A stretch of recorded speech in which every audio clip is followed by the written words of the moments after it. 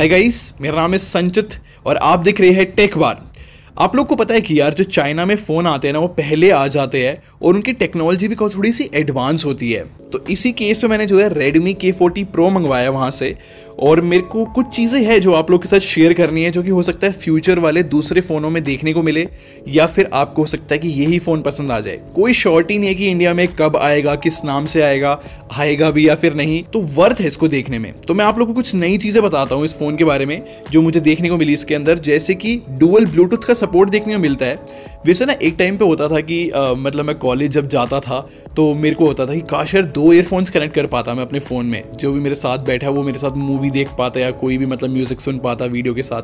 अब फाइनली ये फ़ोन में देखने को मिल रहा है और हम जो है दो ईयरफोन्स इकट्ठे कनेक्ट कर सकते हो ब्लूटूथ वाले।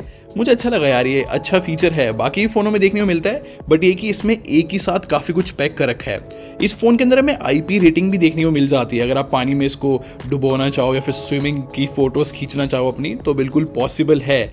ऊपर से इसका जो डिज़ाइन है, वो कुछ ज़्यादा ही प्रीमियम देखने को मिल जाता है। इसके ना अपर राइट साइड में देखो, एक स्क्रैच टाइप का डिज़ाइन लग रहा है मुझे तो ये। ऐसा लग रहा है कि फिंगरप्रिंट आ गए हो, गंदा हो गया हो। बट हाँ यार, कुछ यूनिक सा बनाने की कोशिश करी है। मतलब लाइव देखने में बुरा नहीं लग रहा है बट हाँ कुछ अलग ही चीज़ बनाई हुई है। और शाओमी आजकल जो है, सच में बहुत प्रीमियम फ़ोन बना रहा है, क्योंकि इसके फ्रंट और बैक दोनों के अंदर गोरेला ग्लास 5 की प्रोटेक्शन है।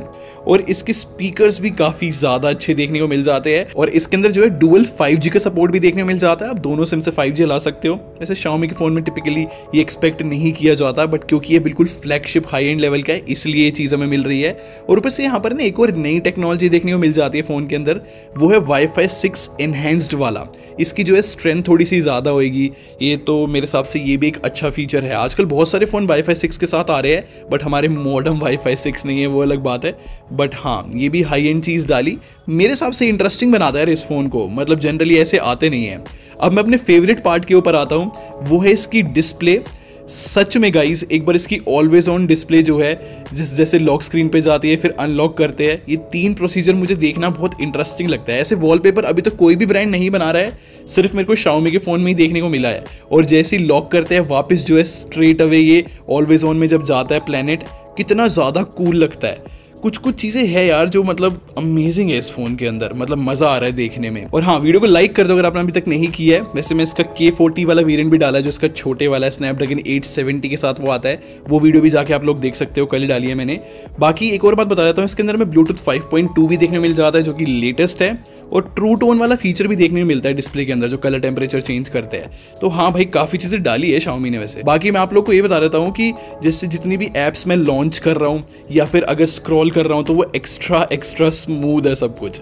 तो ये सब कुछ भी देख के मतलब अच्छा लगता है।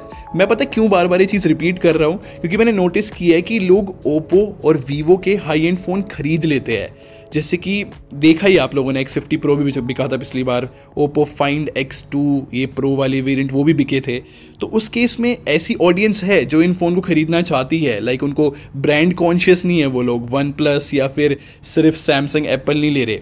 तो हाँ भाई, ऐसी ऑडियंस के लिए मेरे हिसाब से एक वर्थ रहेगा इसको देखना। मेरे को तो भाई अच्छा लगा है। कैमरे की अगर मैं बात करूँ तो यहाँ पर 64 मेगापिक्सल का मेन कैमरा है, बाकी जो दो कैमरे, एक अल्ट्रा वाइड है, एक नॉर्मल है। अगर आप लोगों से कैमरा सैंपल की बात करूँ तो यहाँ पर भी बहुत ज़्यादा अच्छा परफॉर्म कर रहा है। सच में एक्सेप्शनली ग्रेट भी बोल सकता हूँ मैं इसको। और भाई, मुझे तो फ़ोटोज़ काफ़ी सही लगी है। फ्रंट की भी काफ़ी ज़्यादा अमेजिंग देखने को मिल जाती है। और अगर मैं वीडियो फीचर्स की बात करूँ तो यहाँ पर जो है हमें एट के थर्टी एफ़ पर रिकॉर्ड करने की कैपेबिलिटी देखने को मिल जाती है।